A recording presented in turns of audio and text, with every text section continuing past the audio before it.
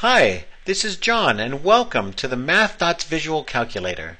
I'm here to go over the main features of this app with you and show you how this innovative new way of looking at math works. As you can see, we start with a grid of empty dots that you fill with math operations. When you first press on this grid, you'll see a helpful protractor that shows you which directions go with which operations. I'll just drag to the right and start adding some dots. You can do this from anywhere on the screen. You can subtract by just dragging to the left from your starting point, and you can do that from anywhere on the screen as well. Multiplication is down and to the right, and you can see how the guide by your finger shows you your current total plus your current operation. The highlighted dots represent the total from the, your multiplication operation.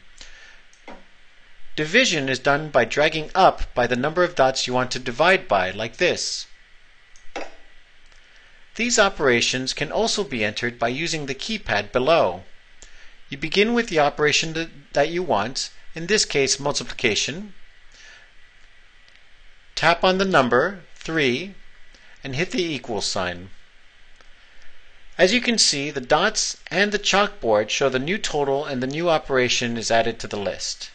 Hit the clear button once to undo the last operation and double tap to clear the board completely and start fresh.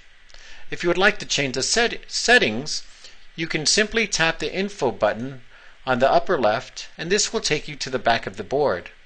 Here you can turn the sound effects on or off and do the same with the protractor. We'd love to hear from you, so feel free to tap on the feedback button to send us an email with any suggestions or comments. You can also send an email to a friend you'd like to share MathDots with as well.